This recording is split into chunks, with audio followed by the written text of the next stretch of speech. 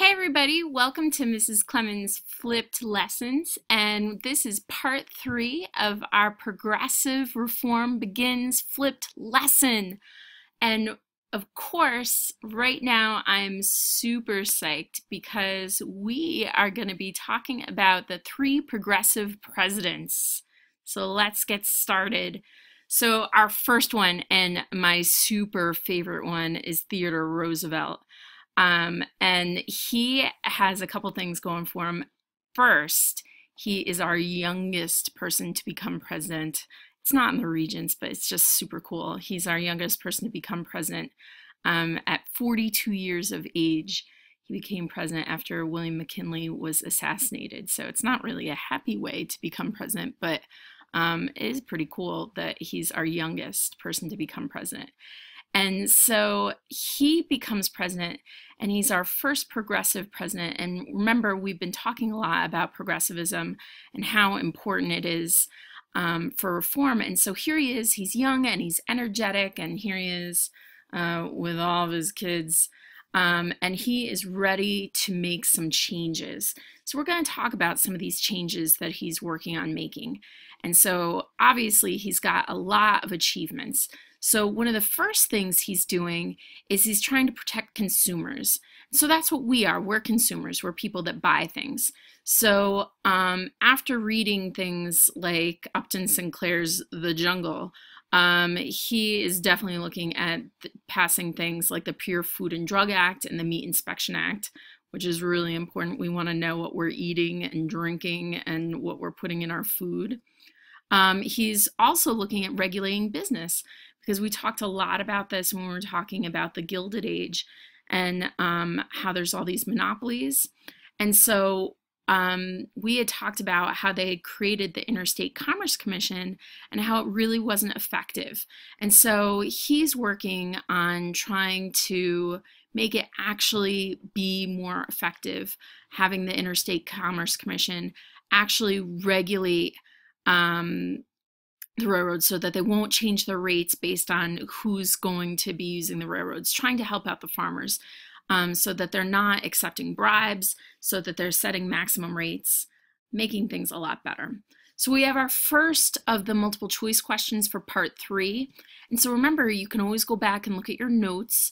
So it says here, the passage of the Pure Food and Drug Act and the Meat Inspection Act illustrate um, the federal government's commitment to one, environmental conservation, two, workers' rights, three, business competition, or four, consumer protection.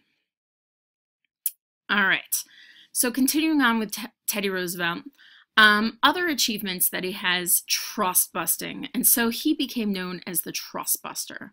And part of the thing with him is that he saw a difference. He didn't bust all the trusts, he didn't get rid of all the monopolies, but he saw a difference between what he thought were good trusts that were valuable to the economy and things that were bad trusts. And so he broke up things that were bad trusts. And so one of the companies that he saw as a bad trust was the Northern Securities Company. And so as a result, this ended up becoming um, a Supreme Court case, which is one that is definitely a good one to know for the regents. So Northern Securities versus the United States. Um, orders it to be broken up. And it's um, using the Sherman Antitrust Act, which is one that we had talked about before as not being effective in the late 1800s. And now he's helping it to actually be effective. And so as time goes on, other monopolies are broken up too, like the beef, oil, tobacco. So that's really great. That's progressive. It's moving on. So we have our next multiple choice question. Main purpose of President Theodore Roosevelt's trust busting policies was to one, reduce corruption in government, two, save the nation's banks, three, encourage competition in business, or four, end strikes by labor unions. And remember, you can always go back and look at your notes. All right. So, other things that Teddy Roosevelt's working on is also improving labor conditions. Remember, there's a reason why he's a great president. He's got a lot of things he's working on. So, one of the things he's doing, um, as we talked about before, in the late 1800s, we have all these strikes that are going on. And remember, one of the things we had said was that the labor unions are striking and there's all this violence, but what was happening was the government was coming in and was putting down the strikes. Well, what's happening with Theodore Roosevelt is instead of him just coming in and sending in the military and putting down the strikes, is he's actually working together with labor, and he actually is kind of doing um, making labor and the businesses work together to figure out their their issues. And one of the examples is the coal strike, where he says, "Listen, I'm going to send in troops and support the union." Um, and helps them out. And that's a really great example of changing um, changing things from how they had been in the late 1800s. He's also working to get accident insurance for workers. So if you get your arm lopped off instead of just losing your job um, and just going around being a beggar, now you're actually going to maybe get some accident insurance get so you're taken care of. Um, trying to reduce working hours. So another Supreme Court case that helps out is Muller versus Oregon. So that ruled that we could limit working hours for women. Uh, they didn't necessarily work out for reducing working hours for men. Uh, so important to help out the women, but not the men. Uh, and also, he was huge for conservation. Conservation, we're talking about environmentalism, trying to preserve the environment for future generations. And so he set aside many acres of land that can never ever be developed. So, a whole lot of different places, but particularly um, areas around Yellowstone National Park and Yosemite National Park. So, here you can see some of the national parks that he set aside. And if you ever get the chance to go see them, they are gorgeous. I've been to Yellowstone, haven't been to Yosemite yet. Hope to get there. All right. So here's our next multiple choice question. Which statement best summarizes President Theodore Roosevelt's view, views about conservation? One, environmental issues are best decided by the private sector. Two, unlimited access to natural resources is the key to business growth. Three, wilderness areas and the resources should be protected for the public good. Or four, decisions about the use of natural resources should be left to the states. All right, so our next president, who was a progressive president, was William Howard Taft. Now, he was the person that was picked by Teddy Roosevelt to be his successor.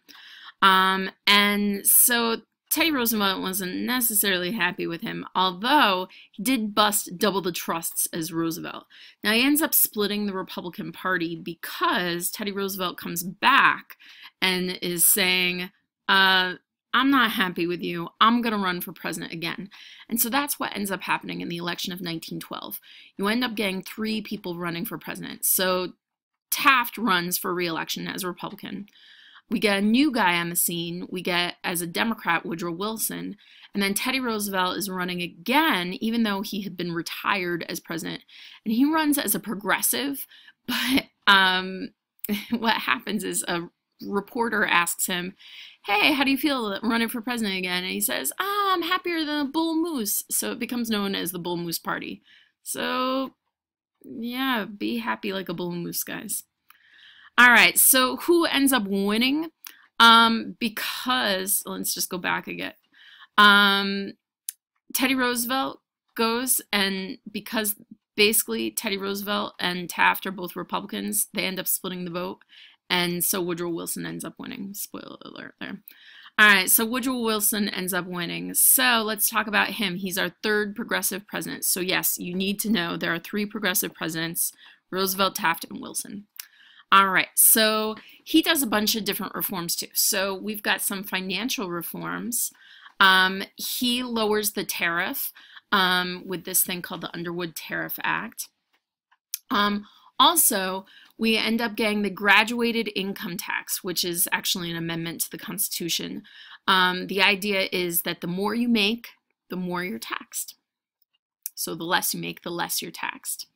Um, the other thing that they put into place now, as you guys know, we've talked a lot about the National Bank, that Alexander Hamilton started the bank, then Andrew Jackson, actually, Thomas Jefferson wanted to get rid of the bank, then Andrew Jackson wanted to get rid of the bank. The bank goes back and forth and back and forth.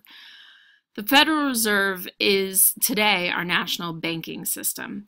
Um, and it regulates our flow of money. So under Woodrow Wilson, they start the Federal Reserve System. And so today, the way that regulates our flow of money is by raising and lowering interest rates. Um, he also regulates business. So we had talked about the Sherman Antitrust Act from the late 1800s. He passes the Clayton Antitrust Act. It's sort of like the Sherman Antitrust Act 2.0. Um, it, it does things just a little bit better. Uh, other reforms that he passes um, or helps to get passed during his presidency, even better child labor laws, low interest loans for farmers, and the 17th Amendment, which um, allows for the direct election of senators. So instead of state legislatures electing senators, they're directly elected by the people.